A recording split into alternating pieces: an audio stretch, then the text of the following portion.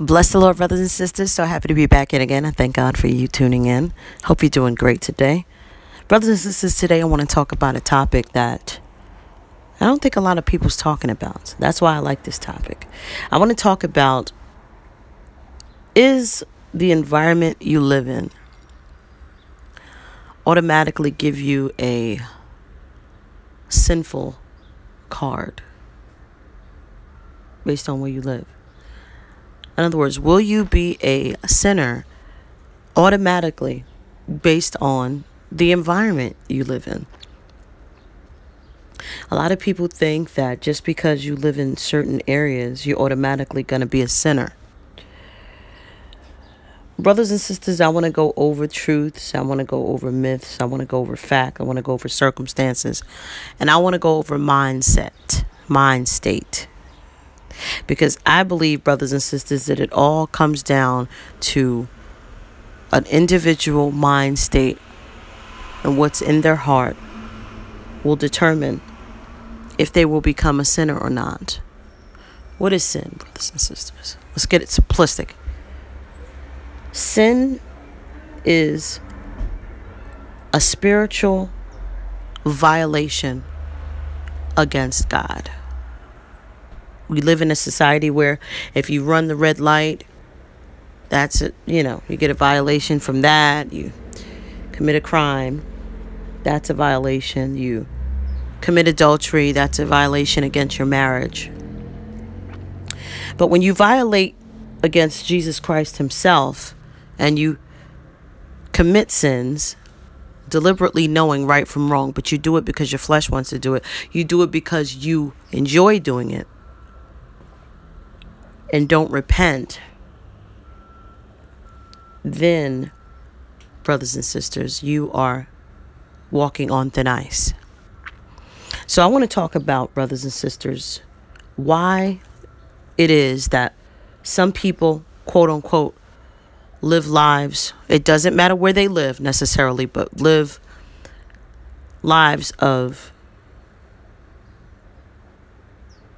uh, integrity or live lives of meaning, if you would, as opposed to people who just live lives on the edge and just don't care, so to speak. See, brothers and sisters, let me just break it down really quickly, okay? Let me, let me get the elephant out of the room, okay?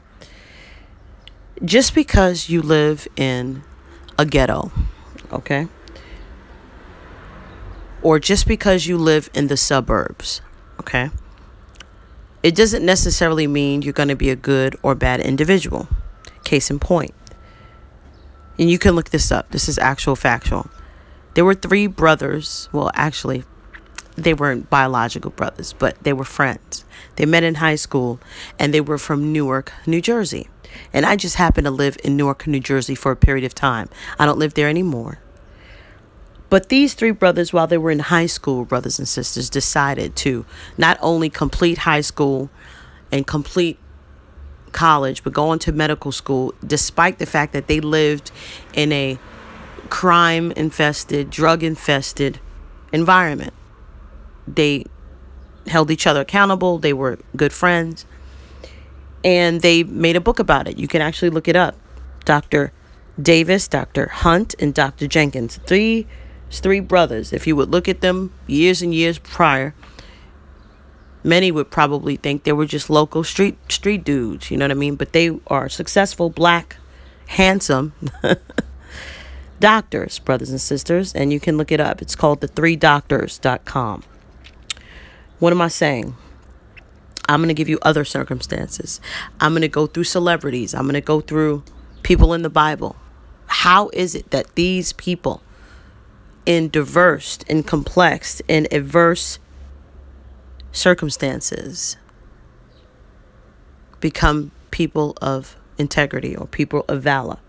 How does that happen? Brothers and sisters, there's a lot of celebrities out there who were born and raised in very diverse neighborhoods, to say the least.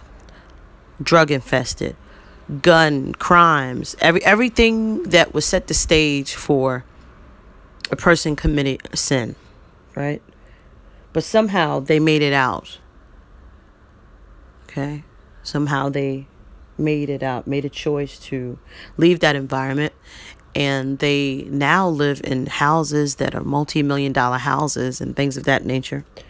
But, brothers and sisters, does that make them upstanding? Does that make them without sin? Does that make them spiritually at a place with God where God is pleased?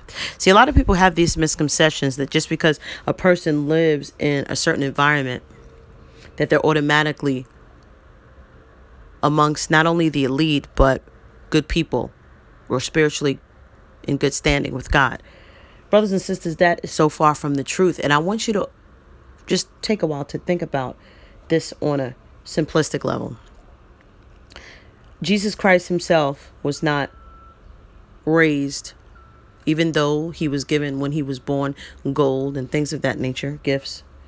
He wasn't necessarily a rich man per se, monetarily. Okay? Moses, even though Moses was raised, okay, in a very rich and lavish environment, he decided when he knew and came to the fact that he knew who he was, Hebrew, he decided to stand up for his people. I love Moses. And be a renegade and do exactly what he needed to do for God. Now, think about Joseph. Joseph was very chosen. He was blessed by his parents. He had dreams and he did great things for God, but he was in the midst of adversity. He was betrayed by his brothers. But he was blessed because he was known to not only interpret dreams, but the way he worked, he worked very diligently and he stood out in the crowd. What am I saying? I'm talking about Gideon also and Job. There's a lot of people, brothers and sisters, on and on in the Bible who are or were up against diverse, complex, and adverse situations, poor upbringings, but yet they're great people. I want that to permeate and radiate. Brothers and sisters, you look at celebrities that again, have million dollar homes, but they're so far from God and they're so headed to hell. But they have nice houses. and they dress nice and they look attractive, but they're headed for hell. What am I saying, brothers and sisters? What am I saying? I'm saying that death comes from sin, brothers and sisters. I'm saying that people have to have a made up mind whether they're going to choose to live for God or live for the devil. It does not necessarily have to do with where they live because there's a lot of psychopaths in a suburban community. Huh? Oh, yeah. There's a lot of terrorists and Satanists, so much in California. Do you know that California was the is the pornography capital of the world? California. What am I saying? I'm saying that just be, and and they have a high homeless population. Huge, huge homeless population, but yet a couple of miles down is Hollyweird, or how how would I say Hollyweird? There's so many people that are headed for hell in such lavish circumstances. So, does that necessarily mean that the environment makes them a sinner? Does living in a ghetto, does living in suburbia necessarily make you a sinner? Do you, do you, do you understand what I'm okay? What I'm saying is this there's so many people that, in the midst of adversity, diversity, and complexity, I like that, has made their lives better through that adversity. They've overcome. And it has to do with not only their heart, not only with them wanting better or wanting more, but their mindset. They have to have a made up mind to in the midst of that adversity. And I'm telling you, this was going on in biblical times. Also, the same pattern. It may have not been a ghetto necessarily, but it was poor areas. People probably didn't wear shoes, huh? They didn't have the latest iPhones. They couldn't communicate with one another like we can. They didn't have internet and things of that nature. They didn't have TV. But yet they made decisions, brothers and sisters, to live for God, to live holy lives. But yet they monetarily were poor, brothers and sisters. What am I saying? I'm saying never let or be dis, how can I say, disillusioned, okay, by a person's status. I mean, look at the White House, look at the upper echelon, look at the elite. Do you think that they're mentally, more, morally, or spiritually sound? Or do you think there's a lot of sin going on? Think of the world itself and how God views the world. The world right now is a Sodom and Gomorrah, but yet God decided, God decided to deliver Lot, his daughters, and his wife. But the mindset of his wife and her deciding to look back, deciding to quote unquote backslide in a lot of ways is similar to what is going on in the world today.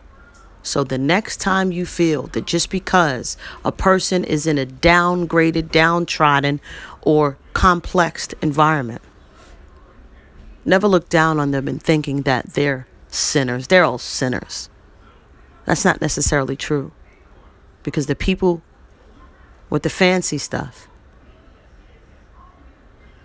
a lot of times, not all the time, and I'm not saying it's bad to live in a nice area. I've lived in nice areas and things, but there's cuckoo birds in the suburbs too. there's dope fiends in the suburbs too. Can I keep it all the way real? There's psychopaths in the suburbs. Ooh, man. I won't leave that for the title. There's psychopaths in the suburbs. It's all about heart and mind and motives.